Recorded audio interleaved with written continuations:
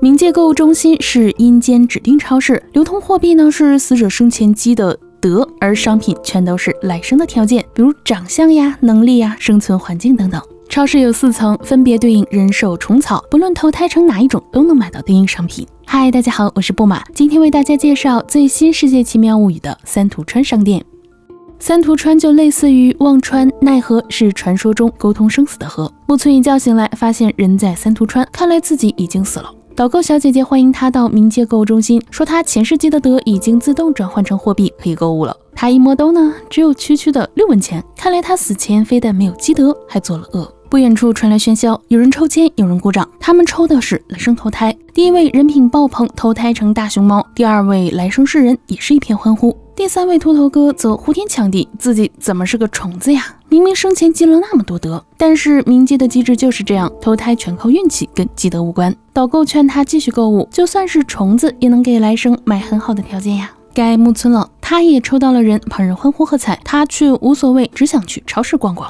这里是人间层，正进行五百年一度的大促销，最受欢迎的永远是男性定制店，颜值啊，身材呀，工资呀，只要买了这些，来生一定不缺女人缘。但木村也没有兴趣。下一家呢是诺贝尔奖，只要买下来，生来就能得奖，但售价高达九千六百万文。老板看木村一副穷酸样，没有搭理他。下一家是运动商店，打棒球的天赋要八十万，有个男孩想买却买不起。他本应该很有钱的，因为前世死的越冤，死后得到的补偿金呢也就越多。他生前身患重病，现在却身无分文，是因为犯下了自杀大罪。小小年纪干嘛要自杀呢？木村一问才知道，男孩重病要太多钱，爸妈总是为钱吵架，他认为都是自己的错，就选择一了百了。话题太沉重了，男孩转头问木村来世最想买什么呢？得知答案是一双好看的眼睛，就带他去眼镜店。那里全都是眼睛，就算不买试戴，导购也不会生气。木村试戴新的眼睛，一时热泪盈眶。人们都说木村生前的眼睛像死虫眼，因为这副眼神，他上学时激怒混混，打工时激怒顾客，给医院送货时呢又惹恼了医院的售货大叔。不过这天他郁闷时遇到了牙生，他虽然身体不好，正在住院，性格却让人心动。他觉得木村眼神里有种别扭又悲伤的感觉，自己早年因为多病，常常怨天尤人，今天一看木村的眼神，就觉得跟自己很像。星期天送货时，木村故意提前送来，还带花来看望亚生。不料他的病房竟然传来痛哭声，妈妈哭诉再也没有钱供他手术了。他为自己能活到现在庆幸，这反而让其他人更加悲痛。木村这才知道他的病情原来这么严重。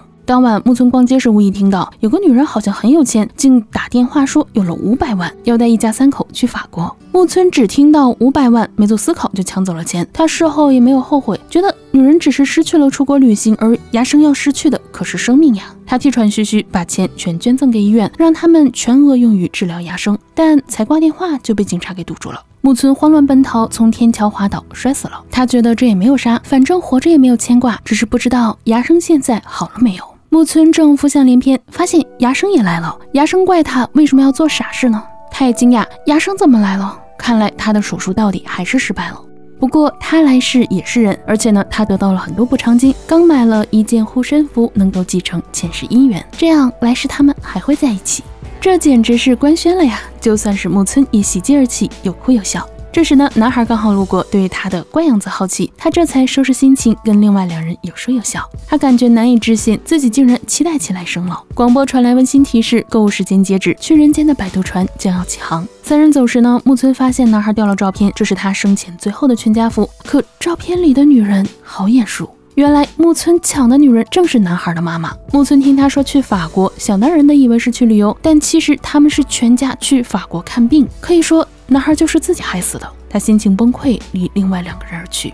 眼看摆渡船就要启程，鸭生和男孩等不来木村，却等来了导购小姐姐。对方拿着一份棒球天赋，说是木村送给他们的。可这售价八十万文，他哪来的钱呢？这时开头的秃头哥狂奔赶上，感慨遇到了怪事。自己明明是要投胎成虫子的，却有个投胎成人的，非要跟自己换，只要自己给他八十万文就可以。哪有这么傻的人呀？其实这个傻子就是木村，他随礼附赠道歉信，请另外两人原谅自己，自己要还清前世余罪，来世不配当人，只能当虫子，希望自己换来的薄礼能稍微弥补他们。男孩着急要找木村，但一旦错过摆渡船，就再也没有投胎成人的机会。牙生又把他拉了回来。新的轮回开始，有只虫子闯进一户人家，女主人正在做晚饭，手机直播着盛大球赛。有位棒球天才凭借一记全垒打翻盘，现场观众激动呐喊，男主人也手舞足蹈。他冷静下来，才想把虫子拍死，但女主人冥冥中觉得不忍心，只是把它放到了窗外。此时，棒球天才也发表获胜感言，自己能走到今天这一步，都是多亏其他人的帮助，自己今天的全垒打就要献给恩人们。二人一虫虽然已经认不出彼此，却在此刻团聚，过上了各自想要的人生。故事到这里呢就结束了。不过其实我感觉本片里面最好玩的部分，并不是投胎成人前该买什么，而是投胎成动植物的话该买什么呢？假设大家如果是要投胎成蚯蚓啊，或者是一根草，身上却有几千万文钱的话，你们会给自己买什么呢？好了，今天的节目就到这里，欢迎关注科幻 fans，咱们下期再见。